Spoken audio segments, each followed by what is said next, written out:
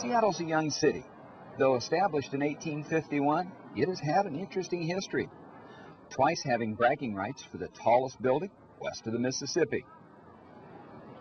In 1914, the Smith Tower, all 42 stories of it, opened its doors and was, in fact, the tallest building outside New York City and the fourth tallest in the world.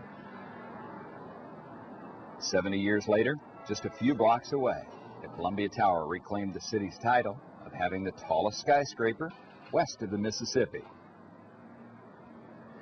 Technically, it's not the tallest building, but it has the most floors.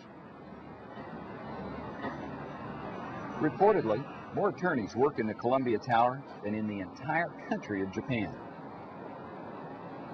Caffeine is what fuels Seattle. It is without question the espresso capital of the U.S. and perhaps the world. And monorail espresso was the first, and it's still going strong today. It's just good stuff. And we love it so much here that we know how to make it well.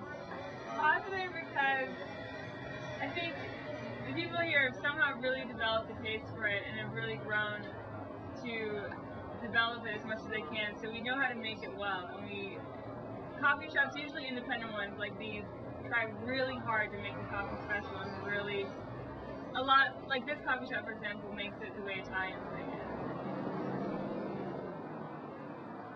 Seattle is also a baseball town. Safeco Field, the city's new sliding roof stadium, is the hot ticket when the Seattle Mariners are in town. So, their game day program and scorecard. Next door, the Seattle Seahawks' new open air stadium is a perfect fit for the area's sports complex.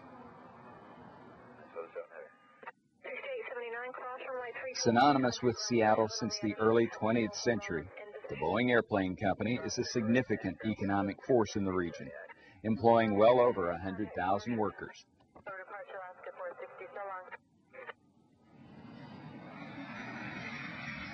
In recent years, the computer and electronics industry has had a significant impact on the region, with companies like Microsoft, Real Networks, Nintendo, and Amazon.com, just to name a few. Arguably, their most significant contribution to the region's economy is diversification that mitigates the dependence on the health of only one industry.